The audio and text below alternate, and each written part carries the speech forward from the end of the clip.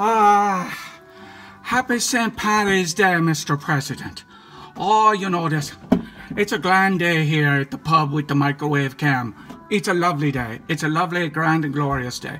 I got to tell you, Mr. President, there are some whoppers of lies being told at the pub, and I know you do that on St. Paddy's Day.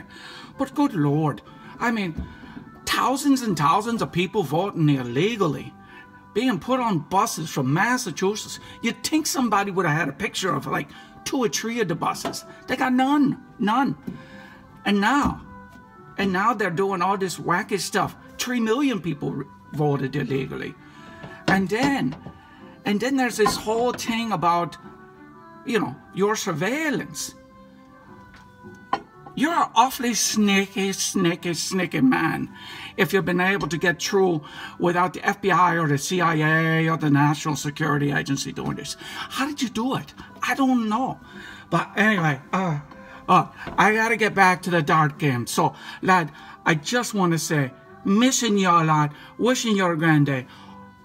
And to everybody out there, the Driscolls and the Margaret Mulhalls and all them grand people, happy St. Patrick's Day.